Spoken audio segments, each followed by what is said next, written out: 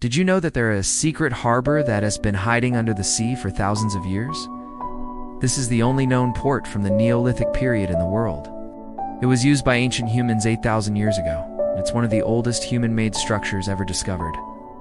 The crazy thing is, is that this harbor was found completely by accident. A group of researchers were diving in the Florida Keys when they stumbled upon this underwater discovery.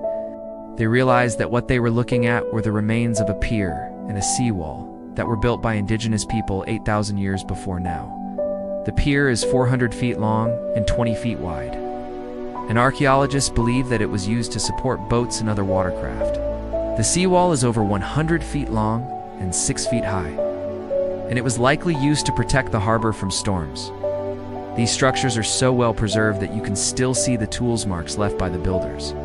It's incredible to think that these ports were used so long ago and they were still standing strong today.